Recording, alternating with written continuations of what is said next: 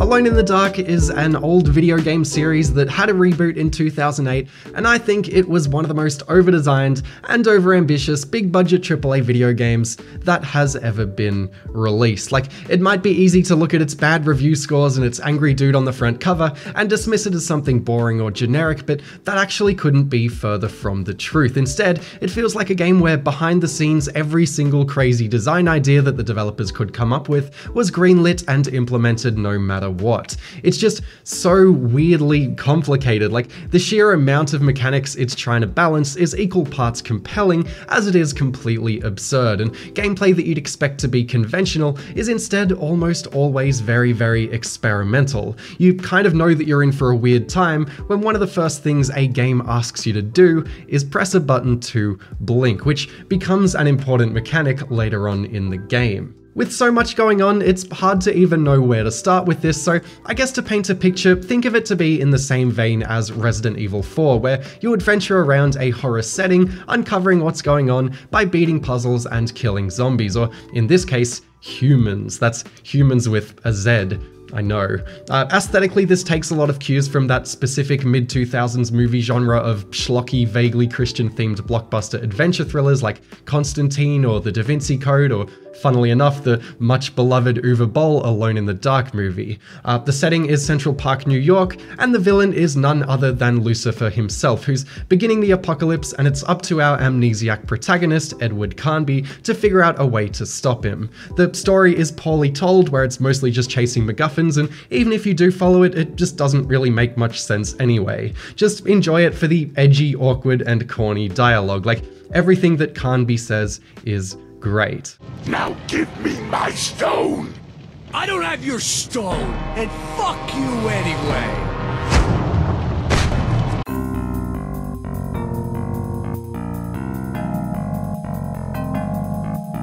I'm the light bringer! I'm the fucking universe!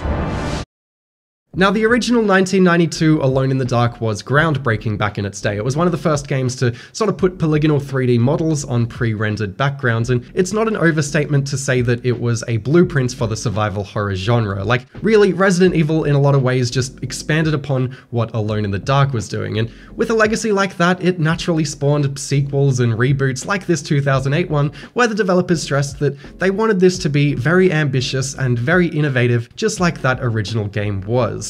Uh, a French developer named Eden Games made this, who were a subsidiary of Atari at the time, and they were well known for racing games of all things, with the V-Rally series and a personal favourite of mine with Test Drive Unlimited, and they did at least have a third-person action-adventure game sort of thing under their belts, with a decently received PS2 game called Kya Dark Lineage from 2003, which was the same year that this Alone in the Dark game started pre-production. So as far as how this plays, you press a button to switch between first and third person, where you can only do certain things in each perspective. Like you can only shoot your gun in first person, but you can only do the Uncharted-esque platforming or use melee weapons in third person. So rather than sticking with your preferred perspective, you're constantly swapping between them, and it must have been a lot of work to implement and balance both perspectives. Uh, at the core of the combat is fire because you can only kill most enemies by burning them. If you don't burn them, you'll just knock them out for about 20 seconds and they'll get back up again with full health. So what you can do is grab a melee weapon that you can set on fire, like a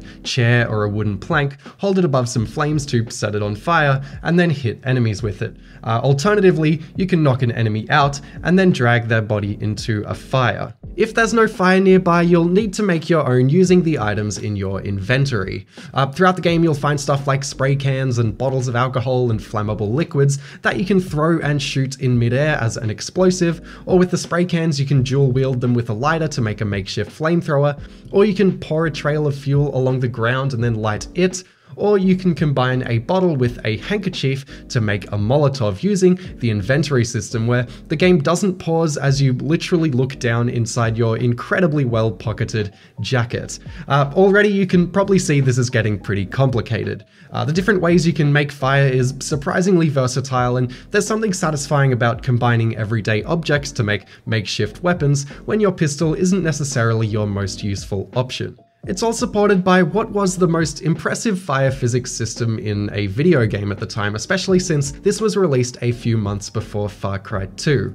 Uh, fire naturally spreads between flammable objects, and those objects, whether they're furniture or doors or cars, will char, crumble, and explode in fitting ways. There's still a novelty to seeing this fire system in action, and really the amount of destructibility in this game is also still very impressive. Like, it feels like every object in a room room can either burn or fall to pieces because they mostly can, and it's great seeing bathroom stalls get torn completely to shreds or bosses wiping out pillars in a room. Twilight 2 is the name of the engine this is running on, which was a modified version of Eden's in-house engine that they made for Test Drive Unlimited, and alongside the fire system, they ticked a lot of technical boxes here with stuff like the hair physics and the rope physics and the basic clothes physics and normal mapping and screen space reflections and basic water physics and object buoyancy in water and ragdoll physics and lots of particle effects, and a massive use of pretty advanced dynamic lighting for the time. Like, it's it's doing a lot. Uh, before the game came out, the engine was teased with a series of video tech demos and dev diaries that made a bit of a splash at the time because of all this stuff it could do. Like, I guess much like the way the game is designed, the engine itself was also tailored to balance a lot at once, and the whole project was actually shut down once during development by Atari until Eden could put together a tech prototype just to prove that they could even pull these concepts off. Like fire, light plays a big role here too. There are often pitch black areas that need to be lit up with either your torch or a glow stick or flames, and there's this demonic black goo that kills you if you touch it and only appears in the shadows, so they designed a few puzzles around needing to light the goo up, like one where you shoot hanging lights to make them swing, giving you a window to go through the goo, which warps and animates pretty impressively for the time. I know this is all sort of a lot to take in, and we've really only scratched the surface of the sheer volume of stuff there is to talk about in this game, but I think by now you've likely realized that this is trying to be something of a systems based, immersive sim style of game. Like, there's a logic to how things like fire and light and destructibility all interact and work, and it's up to you to navigate that logic to take out enemies and find a way forward. You'll get stuck trying to get through a locked door thinking that you need a key, before realizing you can just bash it open with a bin, or shoot out the lock, or even burn down the entire door. At one point, I found myself in Central Park with a few zombies, or humans, I should say, slowly walking towards me. It was moody, it was hard to see, and it was the first real time that the game let go a bit and left me to my own devices to figure out a way to survive. You could say that I was left alone in the dark. Uh, I had this moment where my instincts kicked in and I started running through the possibilities on how I could handle the situation. Like, did I have enough time to look in my jacket and cobble together a Molotov? Uh, is there a weapon nearby that I could burn and then maybe whack these guys with? Or should I maybe try and knock them out and then burn them? Or knock them out and make a run for it? Or ignore them entirely and make a run for it? Uh, it was this wonderful moment where I genuinely started making these micro decisions like I was in this world and thinking about what tools that I had at my disposal to survive. The blend of inventory management and using the weapons and fire sources in my environment had me feeling like I was there in this hellbound Central Park, logically keeping track of what I could do and running through what I should do, which was genuinely immersive and only helped by the more minimal heads up display pulling me in even further. I love that this game shares similarities with games like Far Cry 2 or the King Kong game in that it takes a lot of the basic systems based design elements from older deeper immersive sim RPGs like Deus Ex or System Shock, but it frames itself as a more accessible action adventure game. The other question that I asked myself in that moment in Central Park was should I try to run for the nearby car to escape? Because on top of everything else, of course, this game also tries to tackle driving, and of course, it does a lot of unconventional things with it. Uh, if a car is locked, you have to shoot out the window to unlock it, and then once you're in, you can interact with almost everything inside. It's like Shenmue levels of just poking at things because you can. Like, you can change to any seat, and you can open the glove box, or turn the light on, or turn the radio on, that sort of thing. If there's no key in the ignition, you can check the sun visor to see if the keys are up there, otherwise you have to play a trial and error hot wiring minigame where the wrong wires might honk the horn or turn the inside light on, which can attract the zombies outside. I'm calling them zombies from now on. So if you're being chased and you're running for a car, there's a lot of tension in firstly hoping that it's unlocked, and then hoping that there's a key for it, and if not, hoping that you'll be able to hotwire it quickly. Like, it's genuinely very, very tense scrambling around the dash and putting those wires together and timing the ignition while there's zombies banging on the car windows outside. But then the actual driving itself is completely terrible, which is weird since this was made by a developer of racing games. It's slippery and unnatural, and it'll glitch out when you crash into nothing pretty often, and clearly it's very unfinished. Uh, all of this effort went into detailing all these little complexities inside the car, and even outside the car, you can pierce the fuel tank if you have a sharp object and then siphon fuel into bottles if you want to, or you can shoot the fuel tank to blow up the car. Oh, and cars have surprisingly complex destruction models too, where the entire roof of a car can come clean off, but then it's all a bit for nothing when driving these things is so ridiculously bad. They knocked it out of the park with the more abstract ideas here, but they couldn't get the basics right at all which is a running theme with this game. There's all these wonderful, high concept, fascinating design ideas going on that are mostly executed pretty well, but then the first person aiming accelerates all weird and you move with a strange heavy momentum and it has a tiny field of view with massive head bob and each button seems to do like 10 different things depending on context. Uh, if you try to reload your pistol while holding onto a rope, for example, you'll instead jump off the rope and fall to your death, and the main action button does nearly everything. It opens doors, it presses buttons, it picks things up. Uh, good luck navigating inch by inch to pick up that one plank of wood you want while you're surrounded by three other things that the game thinks you want too, or have fun trying to select something inside the car where each slight camera movement will have you selecting a new thing. And the weapon swinging is just bonkers. Like, you've probably noticed that the animations are all out of whack, and that's because rather than using a simple button press to attack, you instead lock onto enemies and waggle the right stick to swing, hoping that it registers your waggle as an attack. Like, sometimes it's cool and pretty innovative that you can precisely move objects around in your hand. Like, there's certain puzzles that require you to do it, or it's good for holding something above a fire to set it alight, but most of the time it's just annoying trying to get it to work properly in combat because it can struggle to realize your intentions and the lock-on often doesn't actually lock on. You'll also struggle to fit through doors while you're holding something as you'll need to maneuver everything through. It's not a terrible idea on paper, but its implementation is just too sloppy, although it is fun when you get to swing a museum's swords and maces around. Across the board, Alone in the Dark 08 is just very, very janky and awkward to play. The platforming can be unreliable, the way it forces you to switch perspectives can be disorienting, the torch is completely useless in third person because it doesn't aim where the camera is aiming, uh, movement is sticky, but it's especially sticky when rooms can fill up with physics objects that you need to trudge through. There's way too many instant death pits with the platforming, or if you touch that black goo for even a second, you immediately die. Again, it just really really struggles with the basics. Even on a technical level, this engine does so many cool advanced things, but then it just has slowdown at seemingly random times and it has bad screen tearing on every platform and bad pop in. Like, it seems that so much attention and care was put into all the high concept design and they simply neglected to make the game actually play well. Just in case there wasn't already enough going on in this game, there's also a wound healing system where you use healing spray, whatever that is, to seal up cuts, where that spray can also be used as an explosive, which can give you an interesting trade-off decision to make. Uh, if you take a big hit, you'll start bleeding out, and you'll need to find a bandage within 7 minutes to patch yourself up. You'll usually have a bandage on you, so it's not too much of a problem, so this kind of just feels like a glorified health pack system that just adds to the over-complex weirdness that is Alone in the Dark 2008. Also, the wounds look really, really weird because they just seem to be textures on top of clothing, which is kind of funny. Like, Carnby's just constantly covered in strange patches of flesh, even in the cutscenes. Early on, electricity plays a big role in the game, which, again, there's just way too much going on here.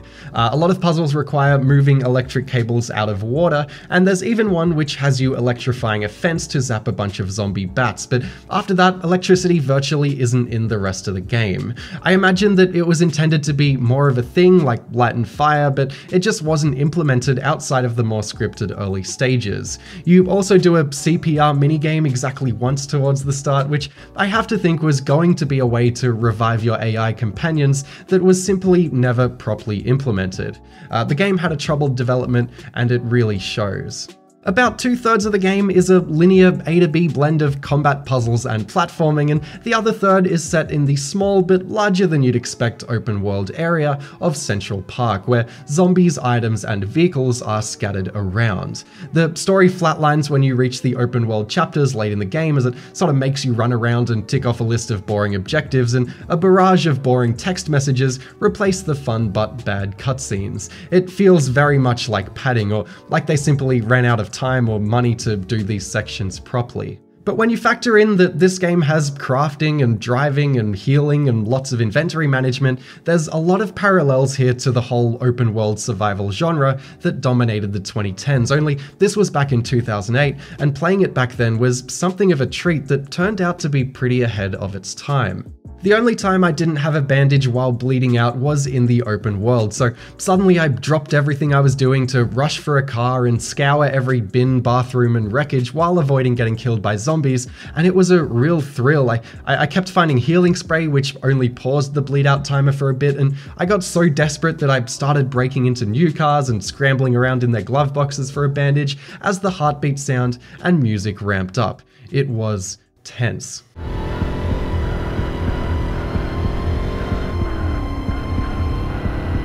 Unfortunately, I never actually found a bandage and I bled out and died because the rate at which you find some items is just super rare, especially in the open world. You can pierce fuel tanks, but good luck finding the handful of screwdrivers or knives that seem to be in the game to do it. Or there's blood packs that you can throw where zombies will crowd around them, but those are also way too rare. Instead, it's mostly just bottles of alcohol and glow sticks that you'll keep accidentally picking up. And once you get a feel for how the inventory works, most problems can be solved by throwing a bottle and shooting it in the air. Whether you need to blow something up or knock something down or burn something or take out an enemy, throwing and shooting will do the job 95% of the time, which eclipses any purposes of the more interesting combinations. You can also pour alcohol on bullets to shoot fire bullets, which also solves way too many problems, but it is at least so stupid logically that I think a lot of people who played this probably never figured out that it was a thing. Like, I'm not sure Mythbusters need to check if pouring whiskey on bullets makes fire bullets. Speaking of bad logic, if you wrap double-sided tape around a Molotov and throw it at something, it will stick to it. It doesn't matter if it's a glass bottle, it doesn't matter how hard you throw it, it'll stick. I remember the first time I played this game years ago, I got stuck at a puzzle which required me to throw a sticky Molotov at a head crab because it's 2008 and of course this has head crabs, and then that head crab would go back to its nest and blow it up. It's kind of a neat puzzle, but it requires you to put together the nonsense logic of the game, which, like the fire bullets, I just dismissed as being too silly to be possible at first, and it never explicitly tells you that you can do these things. Holistically, Alone in the Dark 2008 is an extremely uneven game with an incredible amount of fascinating design ideas that I think it deserves credit for at least attempting. And if you're the patient type who might be interested in this, then I think it is worth checking out because it's not as annoying to play as you might expect for a few reasons. 24, Lost, and Prison Break were all cited as inspirations for the way Alone in the Dark is told, where they split the game into chapters, sort of like TV episodes, where where each one ends with credits, and they let you fast forward and rewind to virtually any checkpoint in the game that you want. And every time you do, you'll get a previously on recap of what's going on. So if you're bored of the open world sections, for example, just pause the game and load the next checkpoint. It could be argued that, like the survival stuff, uh, this episodic stuff was also ahead of its time to some extent, since episodic games became a big thing too, and just as an aside, it might be a complete coincidence, but aesthetically, Alone in the Dark Dark is weirdly similar to Alan Wake, with its gloomy style and its use of light and its previously on clips and its TV show inspiration and its white dude in a grey jacket protagonist. Uh, the two games are just so weirdly similar that I had to mention it. Previously on Alone in the Dark. Meet me in room 943? Oh, fuck that, I'm leaving! Previously on Alan Wake. I'm the fucking universe! Even without skipping through, the checkpoints here are generally so generous that you never have to repeat much, the enemies are really slow to give you time to grapple with the bad controls, and a lot of the more linear stuff is either enjoyable because of its unusual design, even if it's not executed that well, or enjoyable because it's a cool set piece. I think this has one of the best train levels from before Uncharted 2's train level, for example, where you have to keep warding off a boss who's chasing you down as you make your way up to the front of the train while the boss keeps destroying carriages. It's fast and it's intense and it makes you think on your feet as you rush to put out fires and pick up weapons, and it's an exclusive level to the PS3 port of the game, which is by far the best version because it came out a bit later and, believe it or not, polished up a lot of the controls and glitches while making a few small but important gameplay tweaks. It's not quite as graphically impressive as the 360 or PC game, but having tried every version, the PS3 game plays so much better. The most memorable set piece in the entire game sees you driving through the streets of New York as the city crumbles around you, and it's super dodgy and frustrating because the driving is super broken, like you'll probably fall through the map at least once, but the spectacle of it really holds up, especially when coupled with the soundtrack that I can't speak higher about. Like, against all odds, this is up there with my all-time favorite original video game soundtracks, as it, it combines like traditional Bulgarian choir singing with a thumping orchestra, and it's just amazing and it plays at all the right times. The music and the sound design here are both so great that they elevate every moment immensely.